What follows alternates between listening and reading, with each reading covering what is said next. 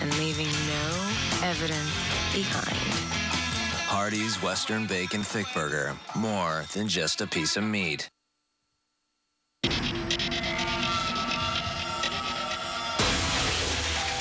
Live from the high definition studios at Fox Charlotte, this is Fox News Edge. Tom, you're fired. Go. You're fired. I love Tom Green. More people will be hearing these words on a new reality show, but not from Donald Trump.